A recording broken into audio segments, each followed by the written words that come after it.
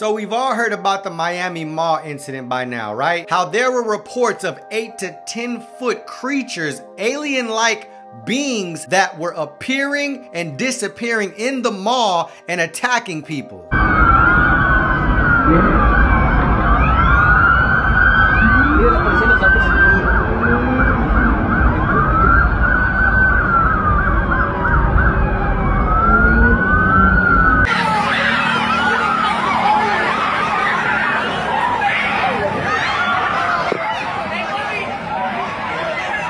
Now, as you've seen for yourself, that overwhelming police response,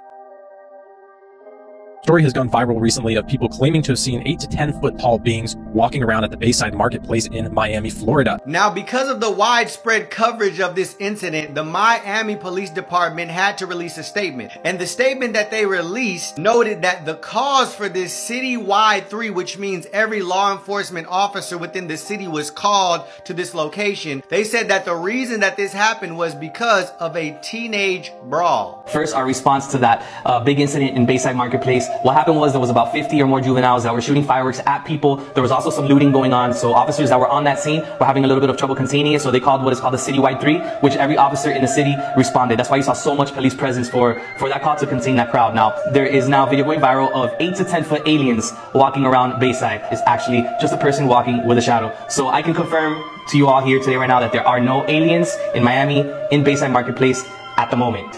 At the moment. At the moment.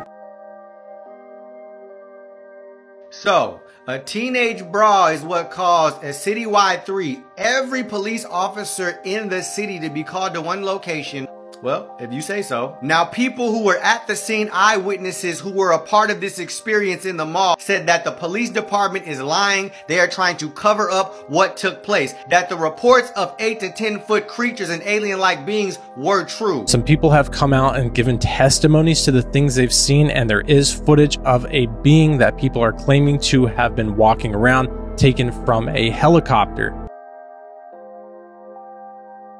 On New Year's Day, there was a massive police response in downtown Miami.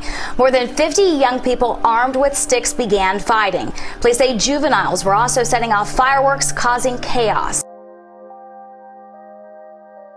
I was at the Miami Mall yesterday and the government is lying. There were no kids fighting. Everyone started panicking because these gray creatures were walking around. They didn't make any noises or sounds but stared and watched you move. I tried to take a video, but every time I would try to, it would just bug out. They set a perimeter and wouldn't let anybody out or in unless they went through their photos. We were visited by aliens and the government is covering it up. They were about six to seven feet tall and walked very slowly. They could turn their head around completely and it seemed like they could change forms. Like they didn't have any bones and could bend their body in whatever way. No fingers or feet, just arms and legs. They could also seemingly teleport. They weren't walking around normally but instead disappearing and then quickly reappearing somewhere else. Now, I'll leave it up to the viewer to use their own judgment and determine what is true and what is not true, what makes sense and what doesn't make sense. And I'm actually going to do another video where I go into depth about what these things are and what they're here to do. However, for now, I've obtained video footage that has been scrubbed and removed from the internet. She was there at the site when it happened and what she captured on her phone will blow your mind. Now, did you ever ask yourself, why would they appear and show up in a mall? Why would these 8 to 10 foot